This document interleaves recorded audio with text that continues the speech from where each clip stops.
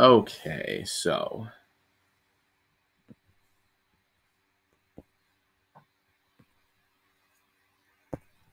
negative one, 2, 3, 4, 5, 2, negative 1, two, three, one, two, three, four, five, two, negative one, and then two, one, two, three, four, five, six.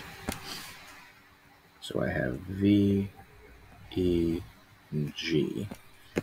All right. So this one, I could probably, again, notice that it has a horizontal um, base and height. I feel like you'd be less likely to notice this one because it has, um, it's on its side. All right.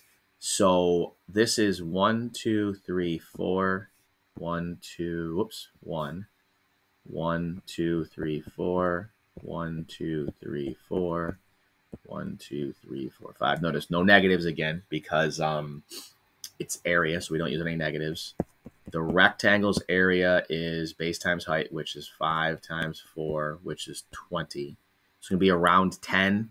All right, again, this one's going to be exactly 10. That is not going to keep happening, so please don't stop at this one and consider yourself an expert and then not do any of the other ones. Half times 4 times 4 is 8 and then a half times 1 times 4 is 2.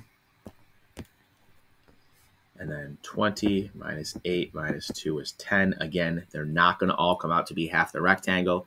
That is something that is special to the first few here that are supposed to be easy. They'll get a little bit harder after this. Try at least a couple more of them before you consider yourself ready to move on to something else.